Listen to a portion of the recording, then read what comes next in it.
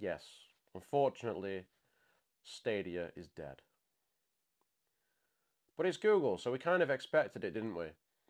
I mean, you know, how many products over the years has Google killed off? I mean, things that I used to like using, like Google Allo and Google Hangouts and Google Plus, all these things that they make that are very, very good that they've ended up just chucking on, on the rubbish pile because they made a hash of it. Let's face it, Stadia was actually really, really good. And unfortunately, it was mismanaged as a business. It wasn't marketed well.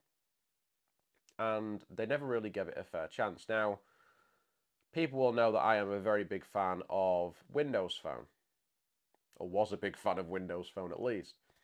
Microsoft have the very same issue. They make products, they scrap them. I was also a streamer on Mixer and a partner there as well, and that got scrapped. And that was a fantastic platform. So they they these companies all have an issue with uh, products that they mismanage that then get scrapped, and unfortunately, consumers uh, lose out on these fantastic products because of that mismanagement. And I've seen a lot of, of questions going around as well on Twitter and the like, and people saying, is Google Pixel next? Well, I don't think so. And th- there's a couple of reasons for that. I think Google have made a much bigger investment in Pixel. Pixel's been going for so so long now.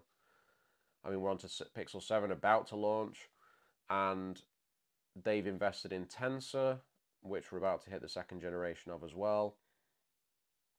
And I feel like they need to have a phone on the market. They've done it with the Nexus before the Pixel as well, which is more for developers, but now they're pushing into more of a consumer focused brand. And I think the brand is strong and it's growing. And as we see this year with, with Pixel, it's launching in more markets. Uh, we've got India, the, the 7's also going to be going to uh, more countries in Europe. So it's a growing brand. We've also got increasing market share here in the UK and the US. So I think the Pixel brand is actually pretty strong. And when they've also got like a feature set that people know and love, and they know exactly what that feature set is, in that we know that Pixels have great cameras, they have a great software experience, all of the software features that you just don't get on other phones. That's what makes a Pixel great, and it makes it a true smartphone. And I think that that gives Pixel a very strong position in the marketplace going forward, and they're going to keep growing. So I don't I don't foresee that Pixel will go the way of Stadia or the myriad of, of other um, myriad of other um, services that Google has provided over the years, platforms, whatever else. But there's always that nagging feeling, isn't there? The the trouble with this is that over time, especially the more and more consumers that get hurt by a particular brand, is that they start to not trust the brand. I struggle to trust Microsoft, for instance, with new things like the Surface Duo. I really would like a Duo. I like Microsoft products. I'd like a Duo, but could I be sure that they don't shut it down in a year or two and then support just stops after spending well over a grand on one? No. So I'm I'm quite hesitant. And I think this sort of thing plays into other people as well. They think, well, why why would I buy a Pixel if Google's likely to just cancel it at some point? And it, it becomes this sort of spiral of of doubt that people have about a company, especially with their consumer focused products. So this is something that people will just say, well, I may as well just buy an iPhone because at least I know Apple's not going to cut the iPhone, which is a fair point. But I genuinely do think that Pixel is safe. But again, obviously, I don't really know.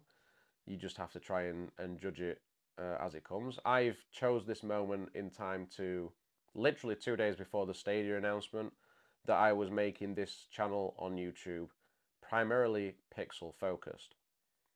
Great timing, right? Great.